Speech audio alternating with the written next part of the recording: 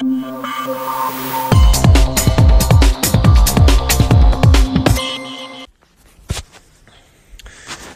mi gente, ¿qué la que hay? Eh, eh, nada.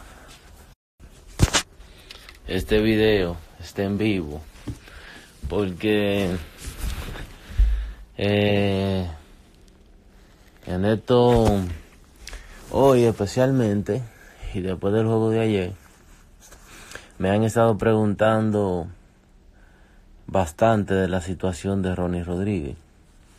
Bueno, a todos nos tomó de sorpresa.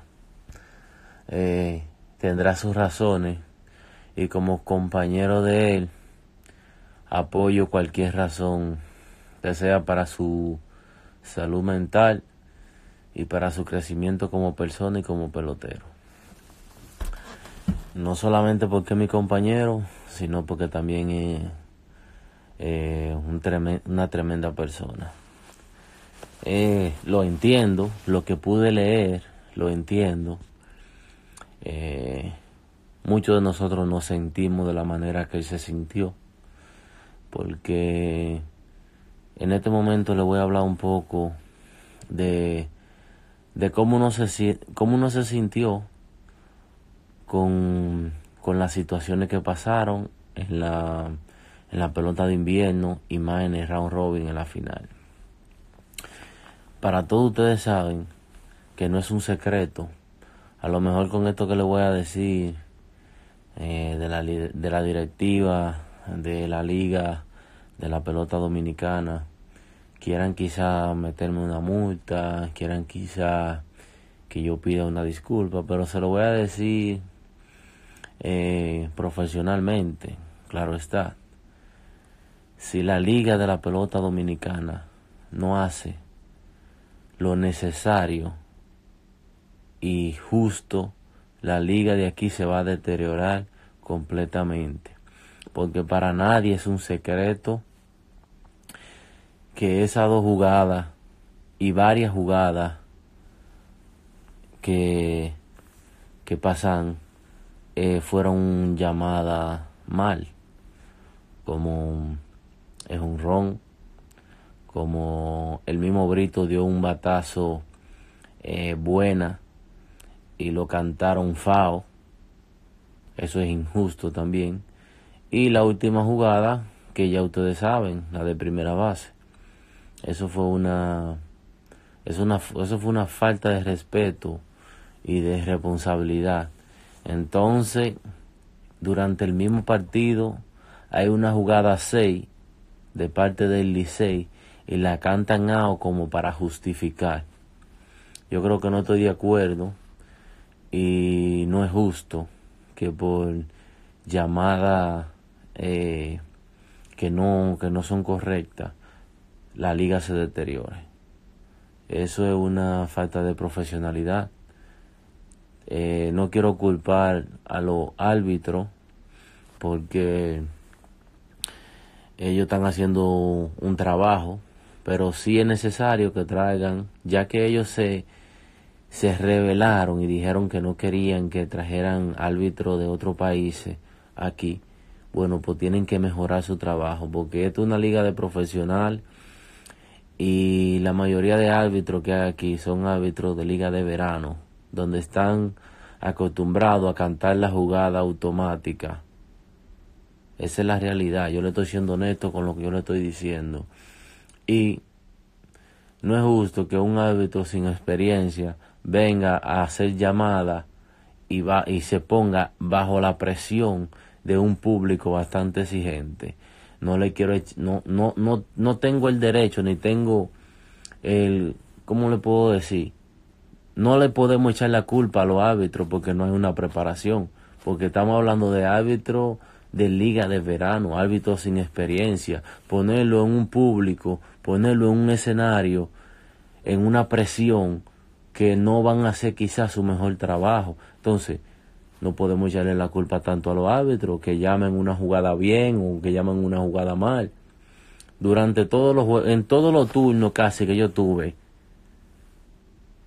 en cada turno siempre me fallaron uno y dos picheos, a favor o en contra O sea, hay una inestabilidad que no se le puede exigir a ellos porque no están capaces. Ahora, si están capaces, que me lo demuestren, porque si están capaces no tuvieran eh, siendo árbitro de liga de verano. ¿O estoy yo equivocado? Lo de liga de verano, o sea, cuando uno empieza a jugar, ellos son los árbitros. Entonces no está correcto. Otra cosa, la liga de la pelota dominicana son los que se tienen que encargar de eso, de hacer el torneo más profesional. Si ustedes están haciendo vaina de que de, de, de, de, volver para atrás la jugada y que chequear y que llamar, bueno, pues metan la cámara necesaria para que no fallen. Porque como tú me vas a decir a mí que ellos van a, a, darle para atrás una jugada con dos cámaras en el estadio. Con dos cámaras en el estadio van a hacer una jugada para atrás. Eso es una, eso es una estupidez. Y disculpen la palabra. Es una, eso es algo que no tiene sentido. Con eso no estoy diciendo que el liceo, que los toros, que nosotros mismos llegamos donde llegamos por los ampalles. No, no quiero decir eso. Lo que quiero decir es que tienen que mejorar ese sistema porque no, le va a afectar a la liga de aquí bastante, le va a afectar mucho, le va a restar. Entonces, como nosotros pudimos estar hoy sentados para ir a los playoffs, hubiese sido también el Licey que hubiera sido perjudicado con una mala llamada. O sea, estoy siendo un portavoz de en general. Tienen que mejorar eso. Tienen que meter un sistema de cámara que le dé la que le dé la seguridad de no fallar una jugada, porque para eso es que hacen, eh, eh, eh reclaman eh, la, ¿cómo que se dice? Eh, el replay, la vaina esa. Tienen que, tienen que cambiar ese sistema porque no lo están haciendo profesionalmente. Con dos cámaras en un estadio profesional no lo van a hacer correcto. No me vengan a mí con esa pendeja. Y otra cosa, a los peloteros de la liga de invierno, si no se unen, se les va a joder esta liga. Los peloteros tienen que unirse más. No es justo que en los clubhouse de visitante cuando uno va a jugar a otro equipo. Y no tanto de visitante, hasta lo de la misma casa, no es tan apto para uno estar ahí, no es tan acondicionado para uno estar ahí. Yo quiero que, me gustaría que la liga de, de, de, de, béisbol invernal elija unos fanáticos para que vaya y le den un tour por cada clubhouse para que usted vea el deterioro, la sucieza, y no, no está apto para uno estar ahí.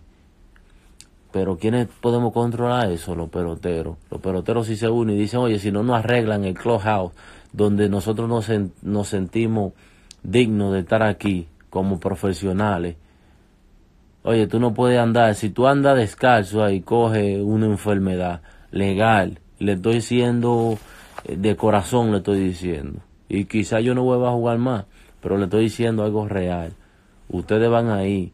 Yo lo que le digo a, los directivos de la liga, de la pelota de invierno, que yo lo invito a ellos que vayan a hacer sus heces en los baños que nosotros estamos supuesto ir a hacer nuestras necesidades. Vayan ustedes y háganlo ustedes para ver si son capaces de hacerlo. A que dicen, wow, ¿y cómo ustedes se aplatan aquí? Wow, ¿y cómo ustedes están en esta alfombra? Wow, eh, oye, la ropa nosotros no tenemos ni dónde engancharla. La ropa, si la ponemos adentro del loque, eh, ya se ensució de tanto polvo. Los baños uno tiene que estar eh, eh sentándose en cuclilla si hay una necesidad o explotarse porque no hay, no hay.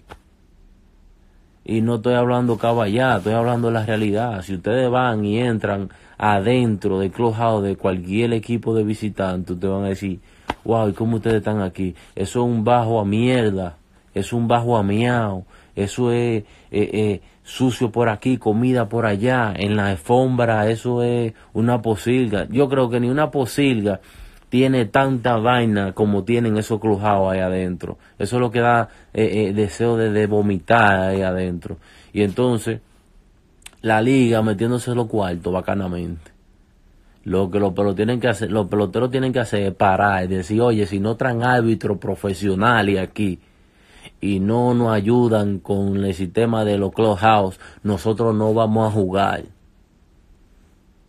Porque no es lo mismo nosotros sentirnos satisfechos y salir al terreno a gusto para darle un buen show a ustedes. Le vamos a dar mejor show si estamos más cómodos. Pero si no estamos cómodos y lo que estamos cogiendo lucha, cogiendo necesidad, que tú no te puedes sentir en tu loco porque si sientes miedo, como que, que te va a puchar con algo, que te va a ensuciar con algo, que te va a enfermar.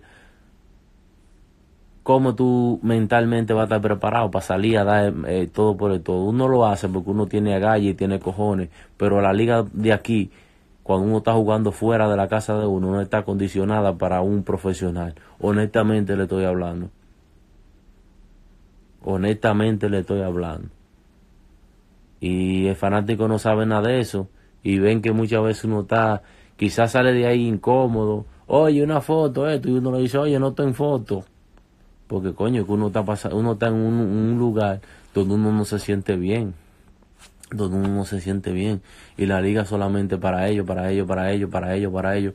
Traigan ampallas profesionales aquí, ampallas que estén al nivel de la liga de, de invierno, que aquí todo el mundo es profesional. No me vengan a mí con una jodienda de traer ampallas de liga de verano, donde en liga de verano, si tú no haces swing en 3 y 1, tú estás ponchado, porque te, o en 3 y 2, te la van a cantar automática porque porque una liga de desarrollo. Aquí no estamos desarrollando a nadie. Aquí lo que queremos es campeonato y que hagan profesionales dentro del terreno. ¿Sí o no?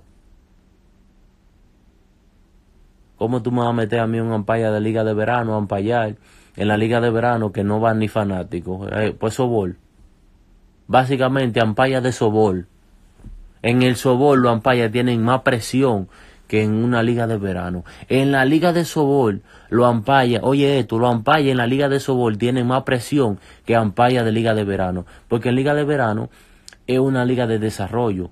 A los ampayas no se le van a exigir los peloteros novatos de 16, 17 años no tienen derecho a reclamarle a un ampaya. Los managers, como están desarrollando peloteros, no van a estar discutiéndole a un ampaya. Pero en un juego de sobol le van a discutir a un ampaya. ¿Y cómo tú vas a poner un, un ampaya de liga de verano a someterlo al estrés, a la presión de una liga como es la pelota de invierno dominicana? No tiene, no, no puedo yo como fanático y como profesional eso echarle la culpa a los ampayas, los ampayas no están capacitados para eso. Y si es así, que me lo compruebe, que la liga nos lo compruebe a nosotros que es así, porque lo estoy hablando con base, le estoy hablando con base, no le estoy hablando porquería. Así como puede, como nos perjudicó a nosotros, puede perjudicar a otros equipos. ¿Me entiende? Entonces, es un deterioro en la Liga de Dominicana. Así que, si Ronnie Rodríguez es una de las razones por las que decidió dejar de jugar, yo lo apoyo completamente. Porque eso fue una debachate, lo que hicieron los Ampayas, llamando jugadas que no estaban ni cerca, tanto como para nosotros, como para el Licey, como para los toros, como para el escogido. Hicieron una estupidez llamando y si ustedes y si ustedes no creen lo que yo le estoy diciendo, vayan y, y chequen cada turno de cada pelotero para que ustedes vean que cada turno ellos fallan dos y tres picheos. En cada turno los ampallas aquí te cantan picheos que no están ni cerca de la zona. ¿Y por qué lo hacen? Pero coño, tienen, tienen 10.000 fanáticos 10 mil fanáticos bocones de verdad, 10 mil fanáticos diciéndole todo, nudo, diciéndole toda la vaina, ahí encima de ellos van a coger presión, porque no están capaces para aguantar esas presiones. Hay uno que más que otro que tiene la experiencia de esta liga, bueno, pues hay que dejarlo. Pero los que no tienen la experiencia, busquen ampallas con experiencia. Si no, los peloteros de la liga de aquí no jueguen paren la vaina, digan el año que viene 2020 de la temporada en octubre, si no hay ampallas internacionales o capaces de que tengan la profesionalidad de, de ampallar una liga como esta tan exigente, no se va a jugar. Si ustedes no se unen para eso, le van a hacer la misma porquería que le hicieron este año. Porque todos salimos perjudicados. Las águilas no los playoffs ahora mismo por una mala jugada. Quién sabe si el Licey ahora le hacen, le cantan una mala jugada y le, y, le cuesta el torneo. Le puede costar el torneo también. Ahora le favoreció, pero también le puede costar el torneo. Así que tumben eso y vamos arriba. La Liga de Pelota Dominicana que están haciendo una eh, lo que van a, dañar la liga y, y, van a hacer que el fanático y que los peloteros se decepcionen de querer jugar aquí real, atentamente y final. Hablamos ahorita que estoy a nivel de cine, en la casa normal. Voy a, voy a ver una película romántica hoy. Hablamos.